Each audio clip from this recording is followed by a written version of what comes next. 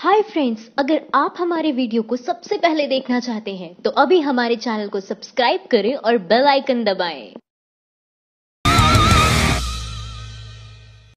दो साल से नाबालिग से रेप कर रहा था बाप। कहीं दूसरे मर्दों ने भी बनाया हवस का शिकार। केरल में रिश्तों को शर्मसार करने वाली वारदात सामने आई है। कुन्नूर ज़िले की एक 16 साल की लड़की ने अपने पिता समेत कई लड़कों पर बलात्कार का आरोप लगाया है। नाबालिग लड़की का कहना है कि उसके पिता उसके साथ पिछले दो सालों से रेप कर रहा था। इसके अलावा बाकी अन्य लोगों ने भी उसे अपनी हवस का शिकार बनाया।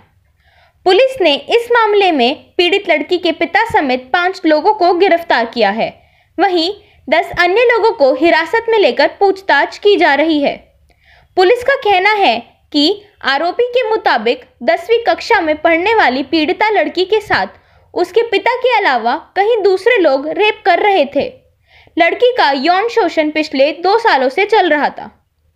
पुलिस ने बताया कि बीते नवंबर महीने में चार नए लोगों ने उसके साथ रेप किया। इनमें से एक ने लड़की के साथ फेसबुक पर दोस्ती की थी। जिन चार लोगों को गिरफ़्तार किया गया है, उनकी उम्र 30 साल के करीब है। पीड़ित लड़की की तरफ़ से पुलिस में शिकायत उसकी माँ ने दर्ज कराई है। माँ को यह बात पीड़ित लड़की के भाई के ज़रिए पता चली। पीड़ित लड़की ने अपने साथ हो रहे दुष्कर्म की दास्तान अपने भाई को सुनाई, जिसके बाद भाई ने यह बात अपनी दूसरी बहन को कही और यहीं से उनकी माँ को पूरे वारदात की जानकारी मिली। मीडिया रिपोर्ट्स के मुताबिक भाई का कहना है कि उसकी बहन का एक वीडियो दिखाकर उसे ब्लैकमेल किया जा रहा था।